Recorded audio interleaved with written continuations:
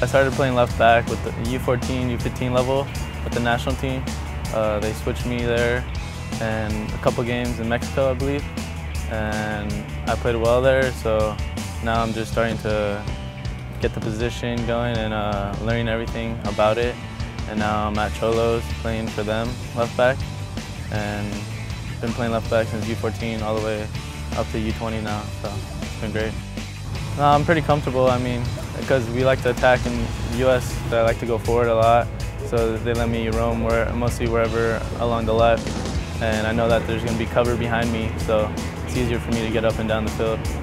I like the confidence that he has going forward. You know that I, I always like players who like to go forward, and that's one of the first things that you know that we tell our players here at the U20s is that you know we want to be the team who has the ball. We want to dictate the game. We want our players uh, to all feel on the field like they can make a difference to make the play that wins the game.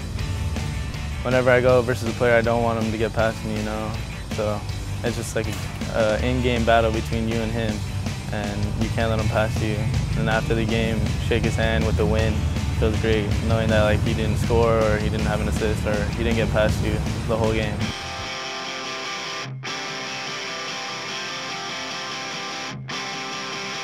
It's a bit similar at Xolos, They like me to get forward also. That's a bit slower over there, but it's more technical.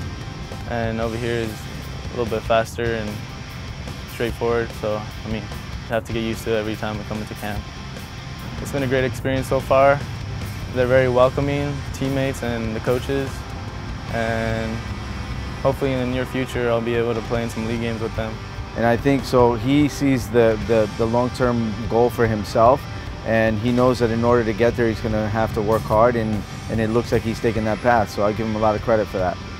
I hope to see myself playing in the World Cup with the U20s and, you know, with Tijuana just becoming a starter and hopefully playing games, a lot of games with them, getting experience, and we'll see what happens from there.